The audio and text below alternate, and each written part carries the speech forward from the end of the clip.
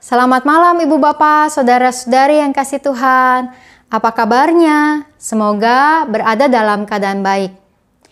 Ibu Bapak, Saudara-saudari sekalian, ketika saya baru pindah ke daerah Kelapa Gading dan main ke mall, lalu kemudian satu kali ada seseorang yang saya pikir memandang saya dan saya tidak mengenalnya, tapi kemudian saya memberikan senyum sambil mengangguk dan orang itu pun akhirnya tersenyum juga.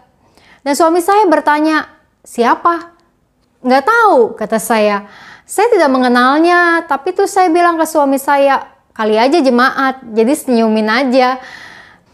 Dan itu terjadi beberapa kali lagi dan kemudian saya berpikir, wah kalau saya memberi senyum kepada orang lain, entah itu jemaat atau bukan, di mall, tapi orang-orang yang saya tidak kenal, lalu ternyata mereka membalas itu dengan senyum, bukankah itu sesuatu yang baik? Bukankah demikian juga dengan diri kita? Saat kita misalnya sedang berjalan di pasar, tiba-tiba ada orang yang tersenyum dan bersikap ramah kepada kita, tapi kita tidak kenal orang itu sama sekali. Kita mungkin bertanya-tanya, siapa orang ini ya? Dan mungkin tidak ingat atau sama sekali tidak kenal, tapi bukankah hal itu membuat mood kita jadi naik, mood kita jadi terasa lebih menyenangkan, ada orang yang bersikap ramah kepada kita. Uh, Ibu bapak saudara-saudari yang kasih Tuhan, di dalam Alkitab Matius 5 ayat 47 mengatakan, Dan apabila kamu hanya memberi salam kepada saudara-saudaramu saja, Apakah lebihnya daripada perbuatan orang lain? Bukankah orang yang tidak mengenal Allah pun berbuat demikian?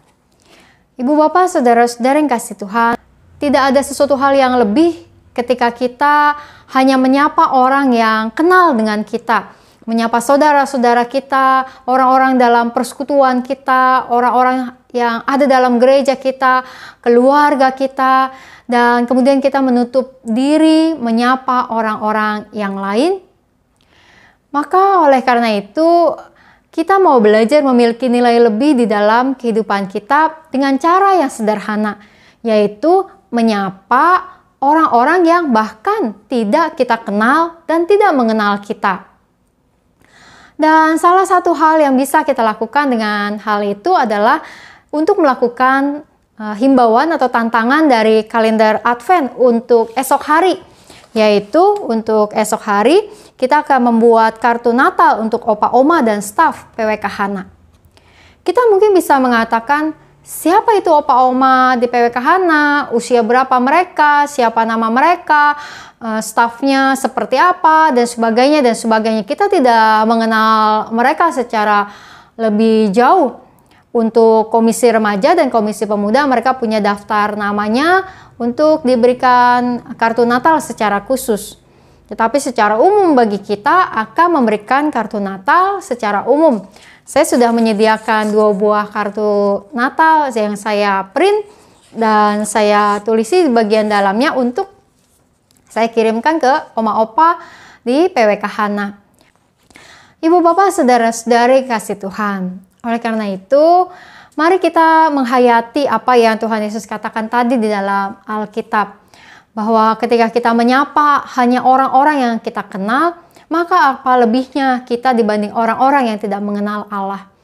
Orang-orang yang mengenal Allah bersedia untuk memberi salam, untuk menyapa orang-orang yang bukan hanya kita kenal, tetapi juga menyapa, memberi salam kepada orang-orang yang bukan kita kenal yang mungkin juga tidak kita ketahui uh, siapa dia, tetapi ketika kita melakukannya, kiranya kita dapat membuat suasana hati dan suasana hidup seseorang menjadi lebih baik. Tapi ingat, jangan senyum-senyum sendirian saat di mall ya. Nanti disangka aneh disamperin sapam. Setidaknya ketika kita bertatapan muka dengan seseorang, daripada pasang muka jutek, kita mau pasang muka bersahabat dan tersenyum kepada orang-orang yang tidak kita kenal. Saya sendiri masih suka harus berlatih, soalnya kadang-kadang kalau jalan di mall lurus-lurus dan suka tidak ngeliat kanan kiri, hanya target mau belanja apa lalu langsung pulang. Tapi ya semoga kita bisa semakin menyapa dan membuat banyak orang-orang yang tidak kita kenal sekalipun untuk merasa uh, bersuka cita, merasa ada seseorang yang memang uh, bersikap ramah kepada mereka dan itu tentu hal yang menyenangkan. Mari kita menaikkan doa-doa uh, syafaat kita di malam hari ini. Mari kita berdoa. Tuhan yang Maha Kasih, kami datang ke hadapan hadiratmu Tuhan di malam hari ini. Kami berdoa untuk Opa Oma di PWK Hana, untuk setiap staf yang ada di sana. Tuhan, kami tidak mengenal mereka, tapi kami mau menunjukkan perhatian dan sapaan kami kepada mereka. Tuhan, biarlah kiranya Engkau juga yang menolong dan menyertai setiap mereka di sana, sebagaimana Engkau juga terus menyertai setiap kehidupan kami. Tuhan kami juga berdoa biarlah kiranya di dalam kehidupan kami sebagai umat Tuhan semakin banyak umatmu yang dapat bersikap ramah kepada orang-orang lain bahkan kepada orang-orang yang tak kami kenal. Ada banyak orang yang membutuhkan keramah tamahan, hospitalitas di dalam kehidupan saat ini ketika hidup terasa keras, ketika hidup terasa lebih egois, ketika hidup terasa lebih sulit, maka keramah tamahan akan menolong suasana hidup seseorang menjadi lebih baik karena itu adalah hal yang menyenangkan. Tuhan biarlah kiranya semakin banyak orang-orang yang dapat bersikap ramah satu dengan yang lain kepada orang yang tak dikenal dan terlebih-lebih tentu kepada orang-orang yang kami kenal. Tuhan kami berdoa juga biarlah dalam masa-masa persiapan kami menjelang ibadah-ibadah Natal, segala sesuatunya berjalan dengan baik. Berkati setiap gereja-gerejamu Tuhan. Kami berdoa juga untuk suasana kehidupan kami sebagai Indonesia. Biarlah kiranya Indonesia bisa menjadi negara yang aman, negara yang damai, di mana toleransi menjadi semakin kuat, Tuhan berkati pemimpin-pemimpin agama, pemimpin-pemimpin kelompok-kelompok etnis, pemimpin-pemimpin politik, aparat pemerintah, aparat keamanan, agar kami dapat terus mengupayakan hal-hal yang terbaik untuk membuat Indonesia menjadi Indonesia yang maju, yang aman, Indonesia yang penuh dengan kesejahteraan. Tuhan kami berdoa untuk musim penghujan saat ini yang telah datang, biarlah kami bisa mengantisipasinya dengan baik. Tuhan, Kau juga ya memberikan kami kekuatan dan kesehatan untuk menghadapi musim penghujan ini.